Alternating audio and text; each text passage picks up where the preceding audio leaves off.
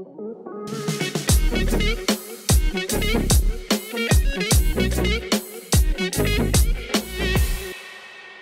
guys, welcome back to the Electric Bike Lab. In today's video, we're gonna be building this 52 volt, 20 amp hour compact triangle battery.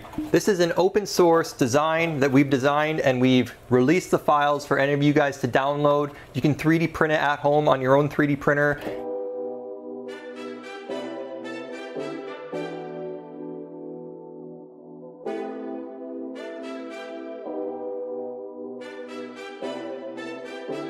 It's a pretty cool design because it's using 21700 cells.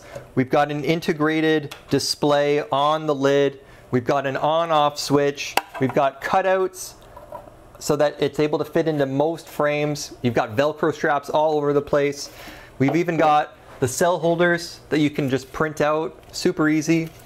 We're gonna be using Samsung 50G cells. These are 5,000 milliamp hour, uh, 10 amps discharge. This is a 14S 4P format, so that's gonna allow 40 amps of reliable current flow, about 2000 watts.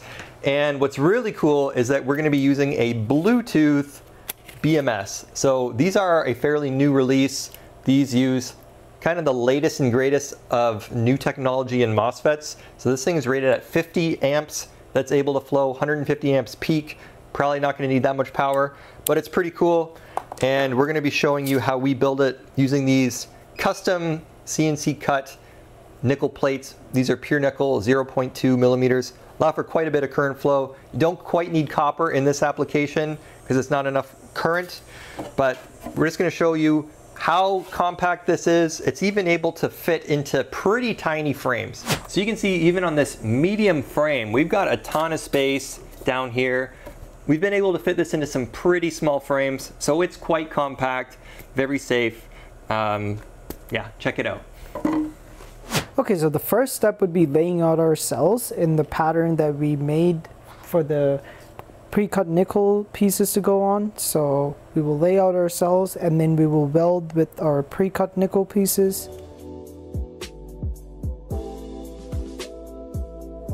So now we're gonna weld this pack using our custom pre-cut nickel pieces. And what's nice about these nickel pieces is they have tabs that you can solder your balance leads onto.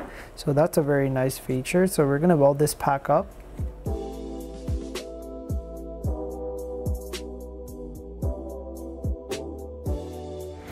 Okay, so I'm gonna wrap the sides up with Kapton and fish paper to add protective layer. And then I will put my BMS over here beside the negative terminal and then I will run my leads that way.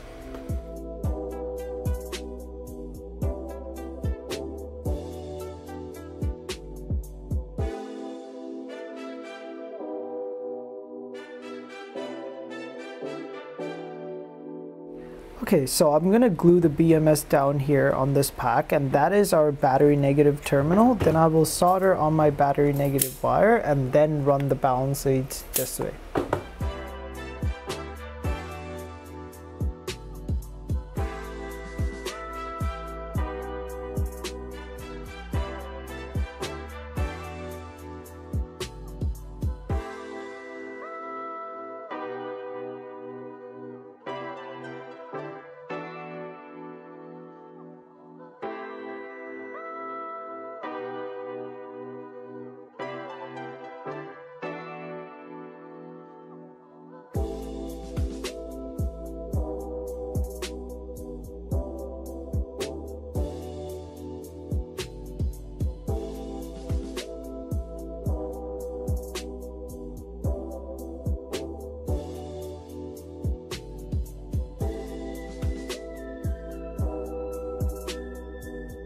Okay, so this temperature sensor here, you need to sort of put it right beside a cell. So we'll make a slit through our fish paper and Kapton here. And then we will glue it against one of the cells. Okay, so we're gonna put this pack on charge now and charge all the cells up.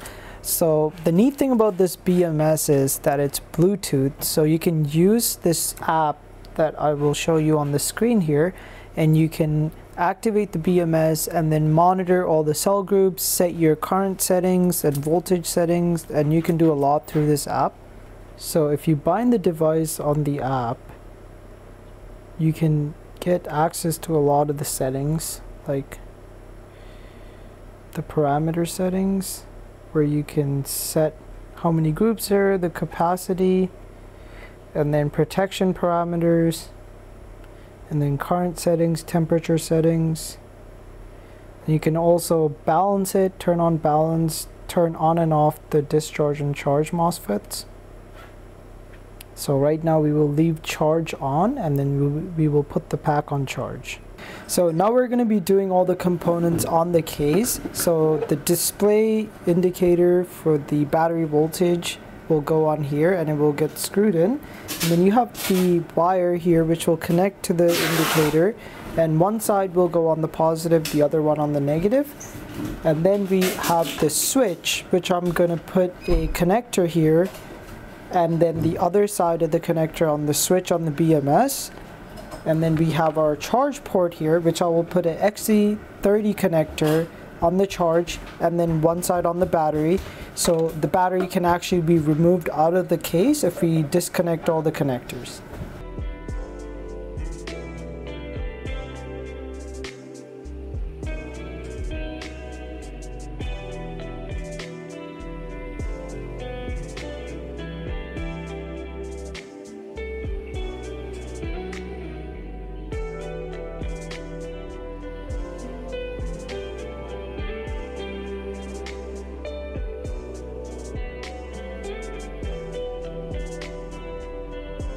Okay, so this pack has been charged and discharged and as you can see on the BMS app here, everything is looking good and the balance is looking good on the pack.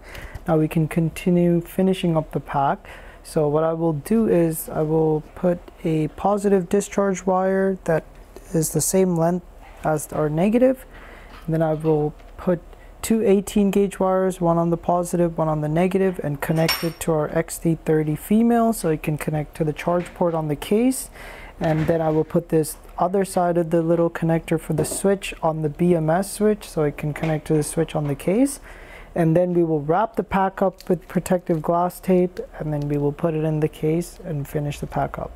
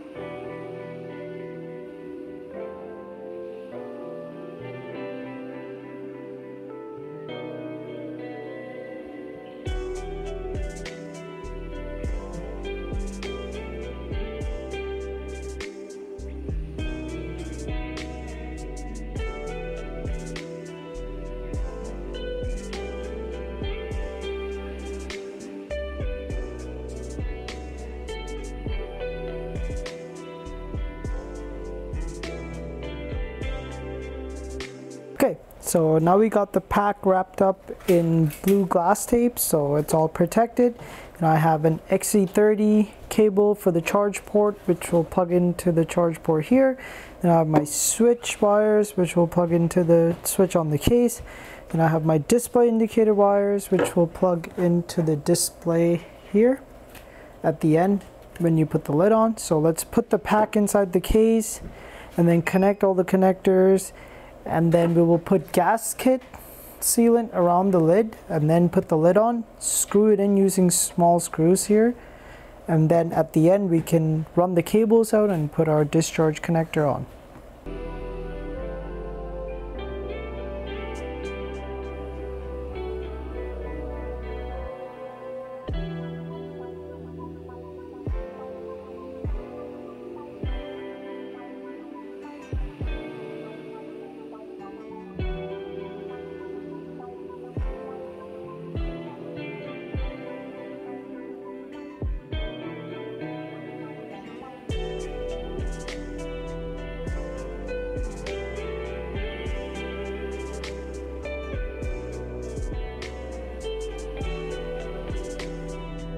All right, guys, and there you have it. 52 volt, 20 amp hour, nice and compact, and you can just use straps to strap it to the bike, maybe a strip of foam where it's mating to the actual bike, but yeah, we're super happy with this. Um, and like we said, you can download all of the files for free. Don't have to pay, don't even have to give us your email address or anything. Just hop onto our website. We'll show you the link right here. Just click, and then all these files are totally free to download. Guys, thank you so much for checking out this video. We really hope you appreciate it. Hope you like it. If you guys do build one of these, send us a picture. We would love to hear uh, about other people tackling on this project. Uh, once again, we really appreciate the support of our channel. Hope you guys stay tuned, stay subscribed, and until next time, keep it on two wheels. We're super close to that 4K subscriber mark and we're gonna be giving away something pretty awesome for that 4K giveaway. So be sure to drop a comment in this video. If you guys have an e-bike project that you're gonna be tackling soon, drop us a comment, let us know what kind of thing that you might need and we're gonna reach out for our 4K. Uh, North America preferably, but if you're in Europe, drop a comment and we'll see if we can do something. We will be picking one comment for that 4K giveaway though. Thank you guys so much for watching this video. Make sure to drop a comment. Let us know what you think. Let us know what you'd like to see. We want to hear about it. And if you want to watch another video, click on this one right here. Or if you want to see what kind of e-bike stuff that we've got, check out this link right here.